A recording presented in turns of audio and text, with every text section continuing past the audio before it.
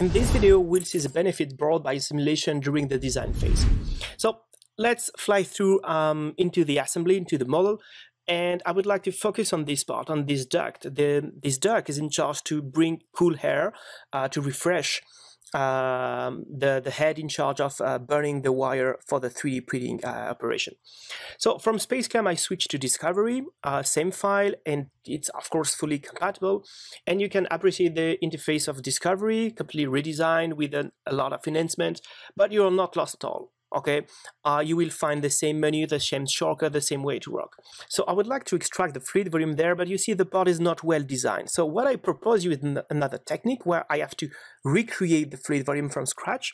So I do some I would say some adjustments. So I would like to remove the rounds and I'm gonna to copy paste the edges to recreate the, the different boundaries, the inlet and the outlet of, of the fluid. So as usual, copy paste, uh, to extra extract the edges okay? And based on these edges I'm gonna have to fill them to recreate the surface to have the boundaries of the of the model. You see that? Uh, what is interesting you can still work on the wireframe model.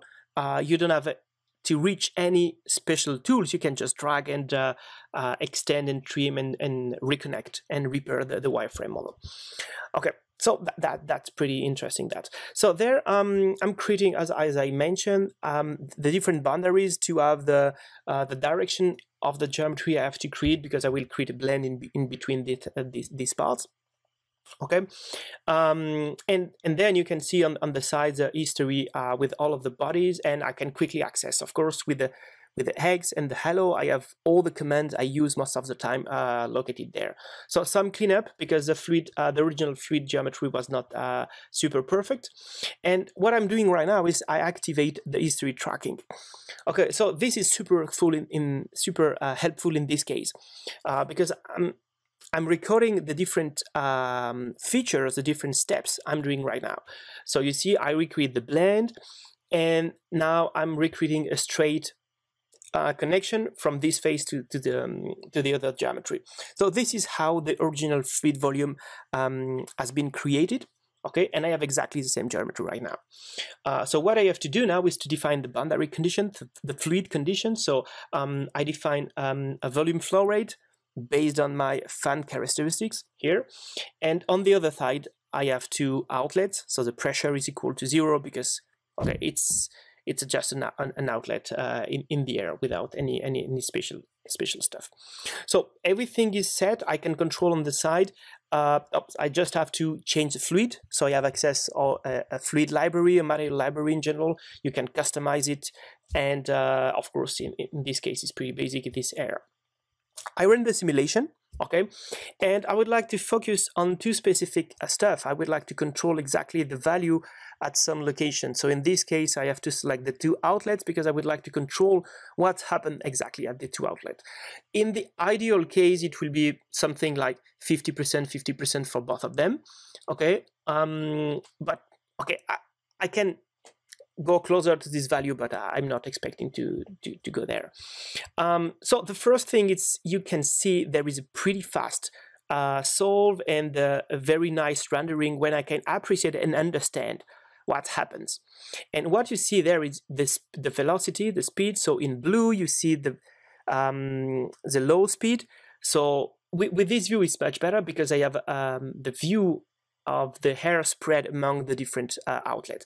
And you see on the on, on the top one, I created a kind of blade effect. The, the, the airflow is going on, on the bottom of the outlet. It's definitely not well spread. So what is definitely not well designed, okay, because I have a big outlet and I use only a, small portion of the outlet to extract the air. And it's because of that.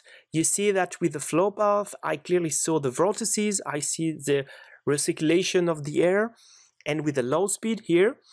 And with this view, I have another way to see that. It's also pretty interesting because I see how the fluid is split. Okay, um, so you see the difference between the blue color and the uh, the red one. Okay, the boundary layer is completely broken for sure because there is a sharp edge based on the geometry. Remember, I created a smooth with a blend and a straight one crossing in, in the middle. So that's why I have, I have this, and this is why I have this, uh, this effect. So I saved all the different results. I created some scenes, okay? Uh, and if you look at the values of my monitors, you see that uh, there is a ratio of three. So one is three times bigger than the other one, so definitely not the good one, okay? So let's see how we can improve that. Um, and thanks for the history tracking because I can come back in the history and I can read it what I did. So um, I'm gonna have to suppress the straight um, I will say pipe connection, and I'm going to replace that by a blend. Okay, so just to have a, much better, a smooth, a smoother um, uh, geometry to help the fluid to follow uh, uh, the, um, uh, the, the, the, good direction. Okay, um, so I can read it, all the different features, I can change the option, I can rebuild them one by one to be sure that my model is correctly rebuilt, or I can rebuild everything in one time. This is what I'm going to do right now. Okay, just I don't have to to recreate them one by one. So what is interesting there is everything is preserved, the boundary condition, the scenes, uh, the monitor road, everything. I just need to press um, solve again and to see the impact of uh, my geometry change on the simulation. Okay, so as you can see there, um, yeah, it's pretty fast. Okay, and if I click there, you see with the bubbles representation, I directly improve that. Okay, it's maybe not yet perfect, but you can quickly appreciate, and especially with this view, that I decrease this, I would say, blade effect, uh, where the air was um, extracted only on the small portion of the outlet. So, and, and there I can, I can clearly see with the vorticities and uh, with the, the flow path, and there, when I look at how the fluid is split, okay, you see, of course, I I, I preserve the continuity, I preserve the curvature of, of the of the path. So that that's much better. Of course, in this case, I still have a split, but it's because of the geometry. I could continue to change geometry and to optimize it, but uh, I would say for a first test, it it's enough. Okay, uh, I improved the design, and you can see that in yeah, just a matter of minutes, I did the job. And um, if I look exactly at what's what's happened with the monitors, uh, so what is interesting with the monitors, I can track um, the different values for the different design changes. Okay, so you see that you have the, the values for the first design. So I'm sorry, I missed uh, the, the top and the bottom one. And of course, the sum of both will still the same. So if one is improved, is increased, the other one decrease. And I, I did the job. You see that uh, if I look at the values, uh, I improved by almost 30% uh, uh, the flow volume extraction of the outlet of the of the bottom level, the top one. So job done.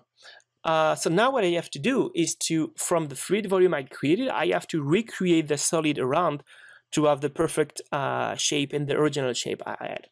So I could do that in SpaceClaim for sure, but let me show you that um, Discovery is just is not just a tool for the simulation. I can also do all the geometry step I did in SpaceClaim and even better.